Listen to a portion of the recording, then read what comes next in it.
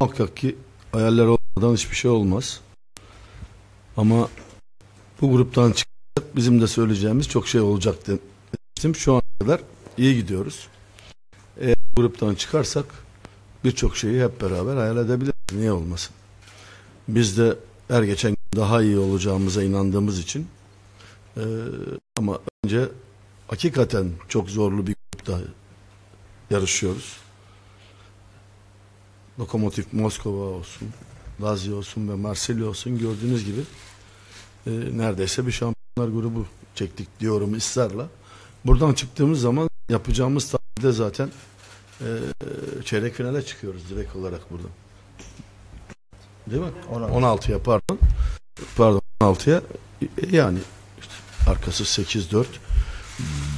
Biz aşağı yukarı bundan sonraki e, çıkacak olan birimiz inşallah e, geçersek